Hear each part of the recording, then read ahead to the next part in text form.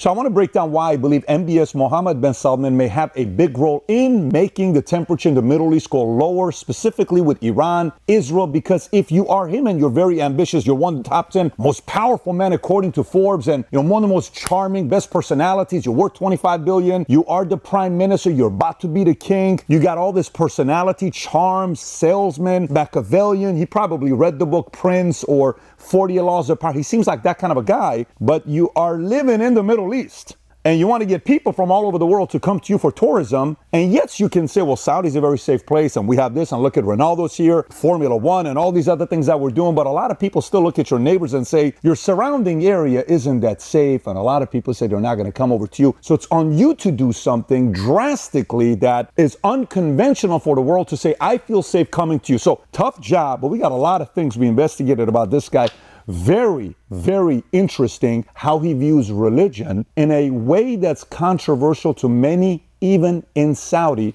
We're going to talk about MBS today. Okay, so if you get value out of this video, give it a thumbs up and subscribe to the channel. Let's get right into it. So here's what we're going to cover. We're going to learn about him, then we're going to learn about the vision, then we're going to learn about the role Saudi plays in the Middle East as well as world peace, and then you'll be able to make a decision on what you think is going to happen with this guy. So let's get right into it. MBS, Crown Prince of Saudi Arabia from June 2017 till today. He's the Prime Minister of Saudi, September 22nd till today. And he used to be the Minister of Defense from January 15 to September of 2022. A couple of the things that he did with foreign policy after he was appointed Minister of Defense in 2015, he launches a military campaign against Yemen, blockade on Qatar, and efforts to counter Iran's influence in the region. So he's not afraid pushing his weight around and saying, hey, I'm not just somebody that's a young kid coming up. I am my own man. I have my own opinions. I have my own philosophies. I want to lead, building a reputation for himself during that time. Domestic policy in 2016, he drastically cut the powers. This is very interesting because as a person who lived in Iran, you have to know there's a lot of power when countries come up with this, and he cut their power. Listen up. He cut the powers of the CPV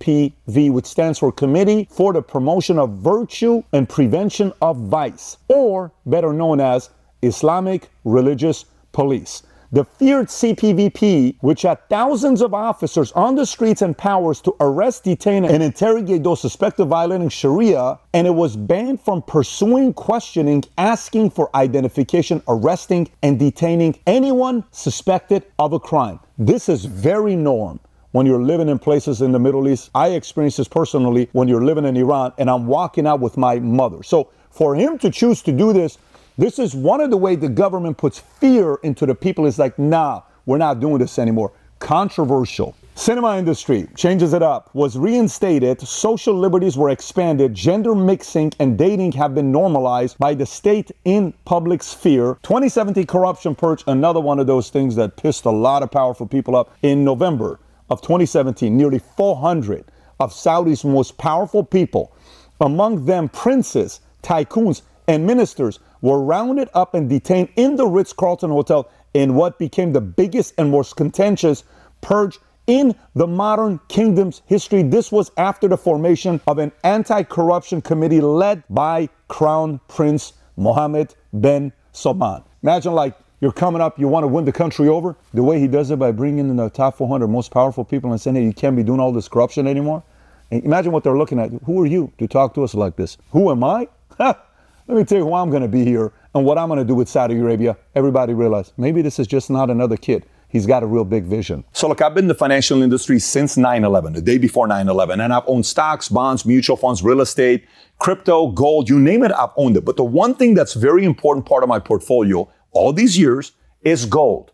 I love having a percentage of my net worth in gold that I have access to in case of many different things. A few facts you need to know about gold. Number one, the gold market cap is $11.8 trillion. Since 2000, the compound annual growth rate for gold has been 9.24%, and during times of high inflation, 3% plus, has been 15.35%. Now, those are just some numbers for you, but there's some other benefits to add gold to your portfolio. Number one, hedge against inflation. Number two, results showed recently that 93% of central banks are working on a CBDC. So this means what? That could be a manipulated currency that they own. If you own gold, it's a non duplicatable asset. You're now hedging against CBDC taking place. Number three, a potential cyber threat. If it happens, you don't have access to your money, you don't have access to your accounts. where you have access to your hard physical gold. Number four is anonymous. No one knows you have that gold. And last but not least, diversification. That's why we chose to work with our new sponsor, American Hartford Gold. If you have retirement funds that you cannot afford to lose, American Hartford Gold will ship physical gold or silver directly to your door. Also, if you have retirement funds that you can't afford to lose, now is the time to call American Hartford Gold, a precious metal dealer you can trust. They have the finest products, amazing customer service, and a buyback commitment. They've earned a five star rating from thousands of reviews and an A plus from the Better Business Bureau. Tell them I sent you and they'll send you up to $5,000 worth of free silver on your first order. So click on a link in the description or call 866 939 6984. Again, 866 939 6984. So again, anytime you have somebody that's very ambitious, you're going to create a lot of enemies. And journalists are going to come out and criticize. You're going to be like, well, he's doing this, he's doing this. And as a person that's getting a lot of attention in different places, you handle it in a different way. In this case, in 2018, MBS global reputation suffered after the murder of Saudi journalist Jamal Khashoggi in the Saudi consulate in Istanbul in 2018. The CIA eventually concluded that he had ordered the assassination, a claim Saudi Arabia denies. This is something that the Middle East has to deal with because in the Middle East, this is what people fear. If you want athletes, if you want celebrities, if you want stars, if you want all these people to go to Saudi, I want to go to the Formula One race, I'm going to go watch a wrestling, I'm going to go watch this, they have to feel the safety to know that these, these types of things won't happen this was a bit of a flaw in his reputation and his ambitions. Early on in his political career, MBS began his political career as a special advisor to his father, who was then the governor of Riyadh. His early roles in the Saudi government included positions in expert commissions of Saudi Council of Ministers and Saudi cabinet. His father's ascendancy and key appointments, his rise to prominence accelerated when his father became the king of Saudi Arabia in 2015. Shortly thereafter, MBS was appointed Minister of Defense, making him one of the world's youngest defense ministers at the time. This position placed him in charge of the Saudi military and its ongoing involvement in Yemen. So now here's a Vision 2030 that he casts. Okay, in 2016, MBS unveiled Vision 2030, a strategic framework to reduce Saudi Arabia's dependence on oil, 87% of the GDP, diversify its economy, and develop public service sectors. Davos in the desert to attract FDI. This includes ambitious projects such as NEOM, a $500 billion planned mega city that aims to be a hub for innovation, technology, and sustainable living, investment in sports leagues, investment in entertainment. So think about it. When you invest into entertainment, are entertainers mostly conservative or liberal? They're mostly liberal, which means if you want entertainment to come to Saudi, you have to be a little bit more liberal than any other Middle Eastern country, which is kind of a, isn't that a country? How are you going to do it? That's not easy. So he decides to give Ronaldo $200 million. Think about your Ronaldo's beautiful wife. You guys got kids. Cristiano comes home and says, Hey, babe, what's that? I got a contract. Awesome. Where are we going? Barcelona? No. Manchester? No. Where are we going? Uh, Saudi Arabia. What are you talking about, babe? Yes. We're going to take our kids to Saudi. We're going to feel safe there. I don't feel safe, babe. How about for $210 million? Let's take the kids to Saudi Arabia, right? That's what happens. So he's willing to give the money but the same money didn't work for everybody. Messi became a Saudi ambassador promoting tourism in the country. His contract reviewed by the New York Times shows that he could earn up to $25 million for his promotion over three years. His deal also angered Paris Saint-Germain, uh, Qatari owners, and was contributing factor to as why he was ousted from PSG. Aston Martin announced long-term strategic partnership with Aramco, which includes joint title sponsorship of the British manufacturer's F1 team. LIV Golf announces an eight tournament schedule for its new tour, which will include four man teams competing for 54 holes with shotgun starts. The seven regular season events will have $25 million purse. The team's championship will have $50 million in prizes. It gets a little crazier with golf. LIV Golf announces it is expanding its team series to 14 tournaments in 2023 would you ready? $405 million in purses. I think that's going to draw a lot of golfers who want to go golf there. Bloomberg reports Saudi Arabia's public investment fund explored making a $20 billion bid. You know for what? For the entire Formula One. Not like one race for the entire Formula One in January 2022. Liberty Media completed its acquisition of the series for $4.4 billion in 2017. Now, Andy Murray says he reiterates that he will not play in Saudi Arabia. I wouldn't play, no, I would imagine it will only be a matter of time before we see tennis tournaments played there. A couple other people, Roger Federer turns down an invitation later saying he didn't want to play there at the time. This is right after what happened with Khashoggi. And at the same time, John Cena from WWE is removed from his scheduled match day days before he is scheduled to appear at Crown Jewel as the WWE faces mounting calls to cancel the event following the death of Khashoggi. And this small uh, golfer, you may know his name, you may not. His name is Tiger Woods. He turned down $800 million to stay with PGA. Why did he say no to LIV for $800 million?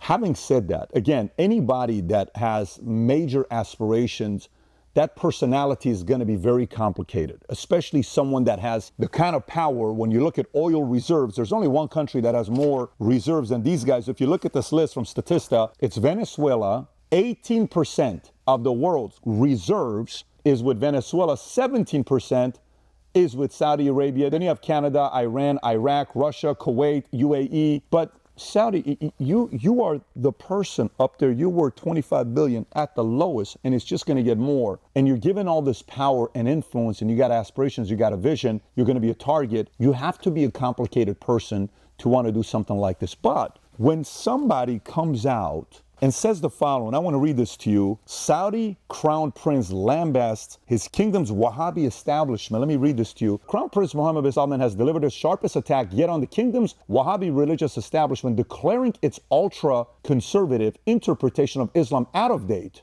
Out of date. Who are you to say this? When he said this, he was 36 years old. Imagine the people that are there a 36 year saying we're out of date and often based on a faulty interpretation of Islamic scripture. Speaking on national television in the midst of the holy month of Ramadan, he also defended his promotion of secular Western entertainment in the kingdom. When I had the crown prince of Iran, Reza Pahlavi, on last week, his father in Iran, the king, which he's about to be, he was a young king at 21 years old similar to him. He was a very wealthy man, very. At one point, CBS called Mohammad Reza Shah Pahlavi the most powerful man on earth. He was kind of going like this, trying to make Iran similar to Western because he wanted Frank Sinatra, Elizabeth Taylor, sports, concerts. He wanted that to be taking place. It's given me the vibes of wanting to do that, which, by the way, when he did this, a lot of the local people from the religious sect called Mohammad Reza Shah Pahlavi a puppet of the West. So he's going to get criticized for that as well. Let me continue. I'll give you more feedback here. Again, the whole part about the Western entertainment in the kingdom, which he had long condemned as heretical by its once powerful Wahhabi clerics. And now he's saying promoting of secular Western entertainment, which, by the way, so where, where, does the inspiration for this come? Why are you all of a sudden flipping your position from who you were to now promoting secular Western entertainment in the king? What are you talking about? That's what the old school folks are thinking about, but here's where his ideology comes from. His ideology has been described as a nationalist and a populist with a conservative attitude towards politics and a liberal stance on economic and social issues. It has been heavily influenced by the views of his former advisor, Saud al